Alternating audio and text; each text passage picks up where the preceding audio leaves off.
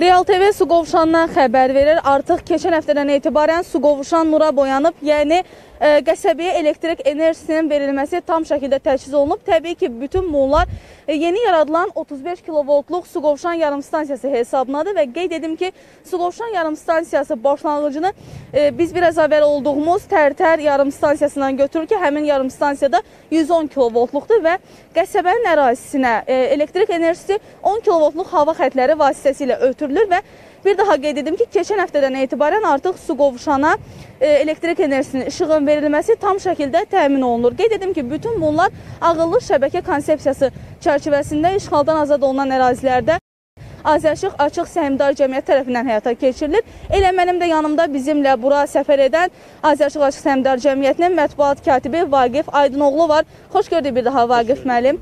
Vaqif müəllim, artıq qəsəbə ə, elektrik enerjisi təchiz olunur və bundan sonra hansı işlər aparılacaq qurum tərəfindən? Bu barədə məlumat verərdiniz. İstərdim daxil olaq stansiyanın ərazisinə. Biz hazırda 35-10 kilovoltluq su qovşan yarım stansiyasındayıq. Hansı ki, bu yarım stansiya tamamilə yenidən quruldu. E, bayaq e, gələndə də yol boyu gördünüz. Ən e, vacib olan məqamı qeyd edeyim. Ağıllı e, şəbəkə konsepsiyasından danışdıq. Ümumiyyətlə Azərşıq işğaldan azad olunmuş ərazilərdə müasir, innovativ yeniliklərin tətbiq olunduğu bir sistem yaradır. Məhz e, cənab prezident İlham Əliyevin də Azərşıq qarşısında qoyduğu əsas e, belə deyək, tapşırıq bundan ibarət idi ki, görülən işlər e, müasir innovativ yeniliklərin tətbiq olunduğu sistemə əsaslanmalıdır. Məhz bunu əsas tutaraq e, yeni müasir 35 e, kilovoltluq yeni bir xətt çəkildi, hansı ki Tərtərdən su qovşana.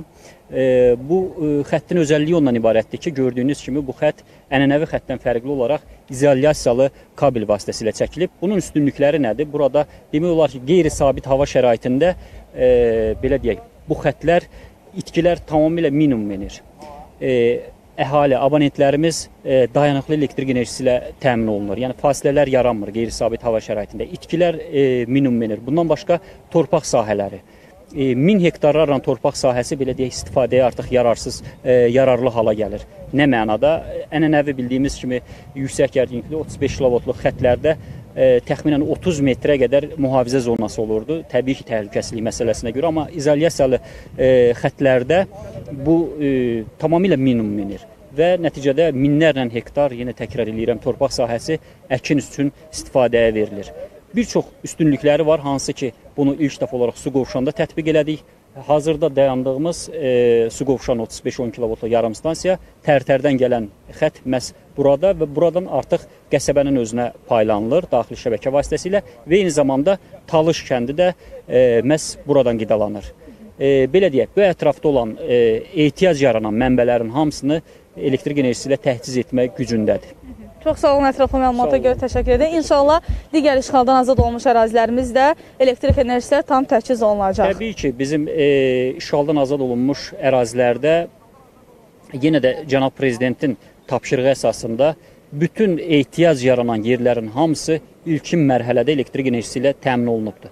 Cəbrayil hələ müharibənin gedişi dövründə biz Cəbraili elektrik enerjisi ilə təmin elədik. Daha sonra Hadrut qəsəbəsi, Daha sonra Füzulidə Şükürbəlidən biz Hadrut qəsəbəsinə yeni 2 dövrəli xətt çəkdik 35 kilovoltluq və eyni zamanda Hadrutdan biz e, Çanaqçıya daha sonra Daşaltı, Daşaltıdakı yarımstansiya vasitəsilə 35 kilovoltluq e, yarımstansiya vasitəsilə Şuşa şəhərini ən qısa müddətdə bir çoxları hətta buna inanmırdı, belə deyək ki, biz 37 gün ərzində Şuşa şəhərinə Azərbaycan işığını çatdıra bildik. Yanvarın 7-si günü Şuşa şəhərində Azərbaycan işığı yanmışdı və hətta bu e, erməniləri də təəccübləndirmişlər. Bir çox e, hətta ermənilərin nazirlərindən biri belə parlamentə çıxışında bunu yalan adlandırmışdı ki, bu mümkün deyil. E, bu qısa müddətdə Azərbaycan işığı e, Şuşada yansın.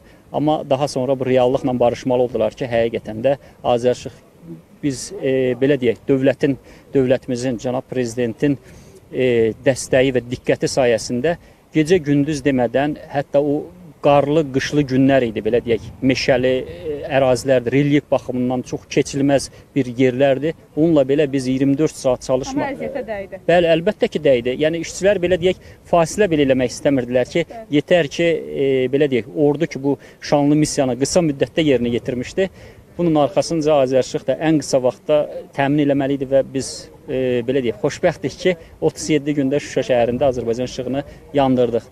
Artıq e, Kəlbəcərə də elektrik enerjisinin verilməsi ilə bağlı işlərə start verilib. Artıq bu istiqamətdə də işlər gedir. Eyni zamanda digər əra- ərazilərimizin hamısında Qubadlı, Zəngilan tərəfdə Dövlət Sərhəd Xidmətinin e, hərbi hissələri tamamilə təmin olunubdur dayanıqlı şəkildə elektrik enerjisi ilə. Yəni bütün ərazilərdə e, işlərimiz gedir. Çox sağ olun, təşəkkür edirəm. Xoş oldu sizinlə söhbət olmaq.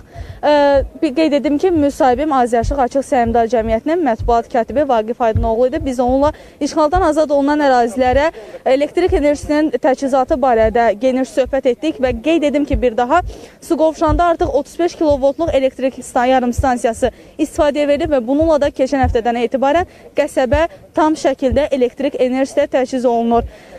Biraz haşiyə, çıxmaq istəyirəm. Yəni Suqovuşan həqiqətən çox gözəldir və işğaldan azad olunan ərazilərimizin hər biri inşallah ki, yaxın vaxtlarda tam şəkildə bütün ə, ha- təchizata qayıdacaq və elektrik enerjisi hər bir işğaldan azad olmuş ərazimizdə bərpa olunacaq. Mənim çatdıracaqlarım Suqovuşandan bu qədər. Odur ki, siz isə ölkədə və dünyada baş verənlərdən xəbərdar olmaq istəyirsinizsə, mütləq şəkildə Real TV-nin efirini izləməkdə qalın.